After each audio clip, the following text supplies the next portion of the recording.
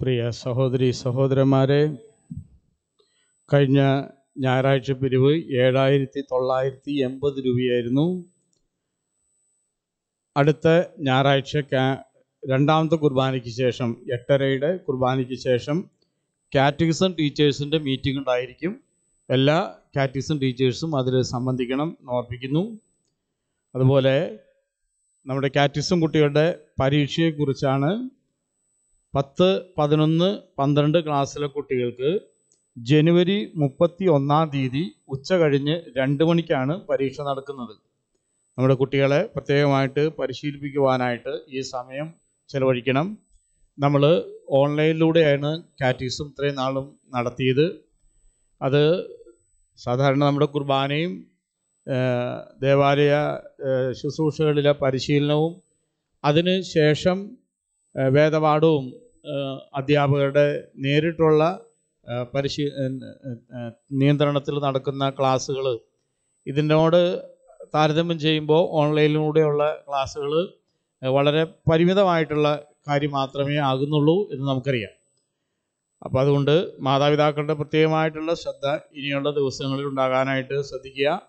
പത്താം ക്ലാസ്സിലെയും പതിനൊന്നാം ക്ലാസ്സിലെയും പന്ത്രണ്ടാം ക്ലാസ്സിലെയും കുട്ടികൾക്ക് തീർച്ചയായിട്ടും മറ്റ് ക്ലാസ്സുകൾ ഉണ്ടാകും എങ്കിലും ഈ വേദപാഠ പരിശീലനം കൂടി വളരെ കൃത്യമായിട്ട് നടത്താനായിട്ട് അവർക്ക് പരിശ്രമിക്കണമെന്ന് ഓർപ്പിക്കുന്നു. മുപ്പത്തി ഒന്നാം തീയതി പരീക്ഷയ്ക്ക് നന്നായിട്ട് അവരൊരുക്കുക.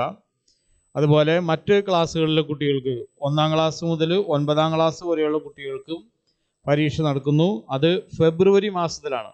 ഫെബ്രുവരി ഇരുപത്തി ഒന്നാം തീയതിയാണ് പരീക്ഷ. അപ്പോൾ ആ രീതിയിൽ അവരും അതിനു വേണ്ടിയിട്ട് ഒരുങ്ങാനായിട്ട് പ്രത്യേകം പരിശ്രമിക്കുക കഴിഞ്ഞ ദിവസം നമ്മുടെ പള്ളിയും പരിസരങ്ങളും വൃത്തിയാക്കിയ ഫ്രാൻസിസ് അസീസി യൂണിറ്റിന് നന്ദി പറയുന്നു. അതിന് അടുത്ത ആഴ്ചയിൽ വിമല യൂണിറ്റ് പള്ളിയും പരിസരങ്ങളും വൃത്തിയാക്കണമെന്ന് സ്നേഹപൂർവം അറിയിക്കുകയും ചെയ്യുന്നു.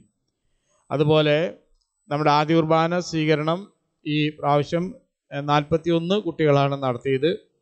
അപ്പോൾ ആ കുട്ടികളിൽ നിന്നും അതുപോലെ ഇതിനു മുമ്പ് ആദ്യ കുർബാന സ്വീകരണം നടത്തിയിട്ടുള്ള കുട്ടികളിൽ നിന്നും അൾത്താര ശുശ്രൂഷികളായിട്ട് സേവനം ചെയ്യുവാനായിട്ട് ആഗ്രഹിക്കുന്ന കുട്ടികൾ പേര് നൽകാനായിട്ടുള്ള അവസരമാണ്. അവർക്ക് ഈ ദിവസങ്ങളിൽ നിങ്ങൾ അച്ഛന്മാരുടെ അടുത്ത് പേരുകൾ നൽകാം. പരിശീലനം പൂർത്തിയാക്കി അവരെ അത്താര ശുശ്രൂഷികളായിട്ട് നമുക്ക് സേവനം ചെയ്യുവാനായിട്ട് വിനിയോഗിക്കാൻ സാധിക്കുന്നതാണ്. വിവാഹ പരസ്യങ്ങൾ കോടനാട് ഇടവക തേനൻ സേവ്യർ റോസ്ലി മകൻ ജിതിനും ഈ ഇടവക പോത്തുമ്പീടൻ ബാബു ഷൈനി മകൾ ദിവ്യയും തമ്മിൽ വിവാഹ നിശ്ചയം നടത്തിയിരിക്കുന്നു. അതുപോലെ നമ്മുടെ ഇടവക പുളിക്കൽ സേവ്യർ ത്രേസ്യ മകൻ ബിനുവും നമ്മുടെ ഇടവകയിലെ തന്നെ കാഞ്ഞിരത്തും വീടൻ ദേവസി എൽ സി മകൾ സോണയും തമ്മിൽ വിവാഹ നിശ്ചയം നടത്തിയിരിക്കുന്നു. നമ്മുടെ വൈദികരുടെ സ്ഥലമാറ്റത്തിന്റെ സമയമാണ്.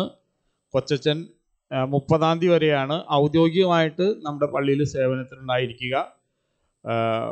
അടുത്ത അപ്പോയിൻമെന്റ് വികാരിയച്ചനായിട്ടാണ് അതുകൊണ്ട് ഒരു മാസം അവർക്ക് ഏതെങ്കിലും ഒരു സ്ഥാപനത്തിലോ അതിരൂപതയുടെ തലത്തിലോ പരിശീലനം ഉണ്ടായിരിക്കും.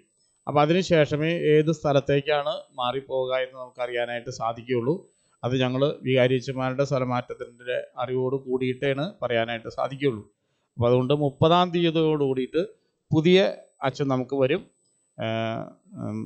ജിമിനച്ഛൻ അന്ന് തുടർന്നും ഔദ്യോഗികമായിട്ടല്ലെങ്കിലും നമ്മുടെ ശുശ്രൂഷയുടെ ഭാഗമായിട്ട് തന്നെ ഉണ്ടാകുമെന്ന രീതിയിലാണ് ഞങ്ങൾ സംസാരിക്കുന്നത്. പ്രത്യേകമായിട്ട് പ്രാർത്ഥിക്കുക. അതുപോലെ നമ്മുടെ ജോർജ് തേരകാട്ടച്ചന്റെ അപ്പോയിൻമെന്റ് എറണാകുളം ലിസി ആശുപത്രിയിലെ അസിസ്റ്റന്റ് ഡയറക്ടറായിട്ടാണ് ഇന്നലെ അച്ഛൻ പ്രത്യേകം വിളിച്ചിരുന്നു. എല്ലാവരുടെയും പ്രാർത്ഥന സഹായം ഉണ്ടാവണമെന്ന് പ്രത്യേകം അഭ്യർത്ഥിക്കുകയും ചെയ്തിട്ടുണ്ട്. നമുക്ക് എല്ലാവരെയും പ്രാർത്ഥനയിൽ ഓർക്കാനായിട്ട് പ്രത്യേകം പരിശ്രമിക്കാം.